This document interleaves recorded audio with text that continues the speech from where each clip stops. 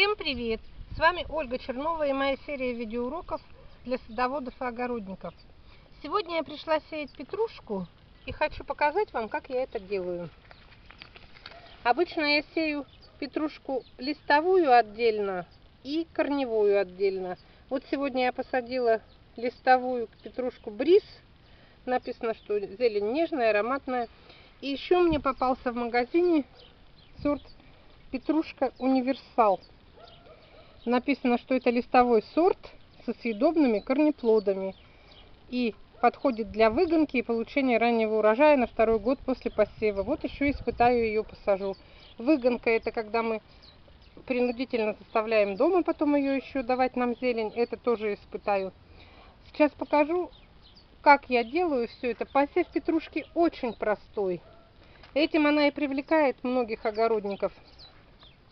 Почти на каждом участке есть петрушка, потому что петрушка это такая пряность, которая добавляется и в консервацию, во все зимние заготовки, в салаты. Она очень благоприятно действует на наш организм. Нормализует пищеварение, повышает аппетит и придает нашим блюдам такую особую пикантность, такой вкус неповторимой петрушки. Многие ее некоторые не любят, но этих людей очень-очень мало, большинство людей ее любят.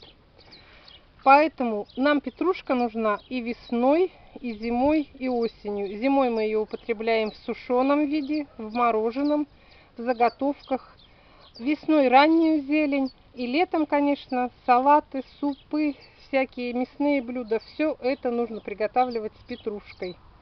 Вот смотрите, чтобы у нас был хороший урожай петрушки круглый год, нужно начинать ее сеять рано-рано весной. Сейчас объясню почему. Во-первых, сейчас влажный грунт, вот я сею всегда рано весной, сейчас влажный грунт и не нужен дополнительный полив. Мы сейчас посеем петрушку, вот семена похожи на морковь. Я делаю неглубокие бороздки, раскладываю семянки, землей заделываю немножко.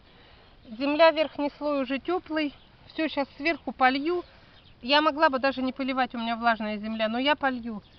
И этот период, пока до наступления тепла семена набухают, потому что они долго всходят. Это не 2-3 дня, это не огурец, он сразу не выклюнется.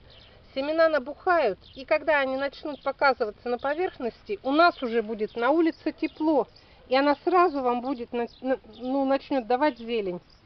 Если вы будете ждать тепла, наступления тепла, и только потом посеете, вот этот процесс набухания, проклевывания, он удлинит вот этот весь процесс, и зелень появится не очень скоро. Но на две недели позже это точно. Поэтому в начале апреля, вот сегодня 1 апреля, с самого начала апреля смело выходите и сейте петрушку. Это морозостойкая культура, минус 5 градусов она выдерживает. Если семена в земле, им ничего не случится. Так же, как капуста она. Она в холодных условиях прекрасно будет у вас расти, даже если появится зелень.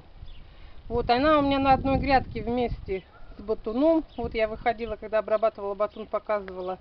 Вдоль дорожки. Это очень удобно. Сейчас батун вырастет, петрушка вырастет. Все, два шага шагнул, собрал зелень. Пошел, даже если сейчас нет еще свежих овощей, в любые другие салаты, в приправы, даже когда еще не будет овощей. Если петрушка у вас уже будет, будете добавлять в супы везде. Так вот, к чему подытожим. Петрушку можно сеять весь апрель. У кого удастся, сейте рано, у кого не удастся, сейте все последующие дни. До конца апреля можно сеять петрушку. Но по, ему, по моему опыту могу сказать, чем раньше посеете, тем раньше получите урожай. В засуху, в жару, когда вы ее посеете, земля просыхает очень быстро верхний слой, семена в верхнем слое будет очень долго всходить. Все, вот этот короткий видеоролик показывает, как я сею семена петрушки. Я объяснила, почему их сеять нужно рано, в самые ранние сроки.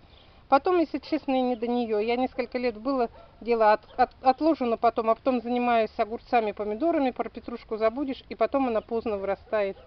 Все, удачных вам посевов, сейте петрушку. Можно сеять петрушку, салат, укроп в открытый грунт. До свидания.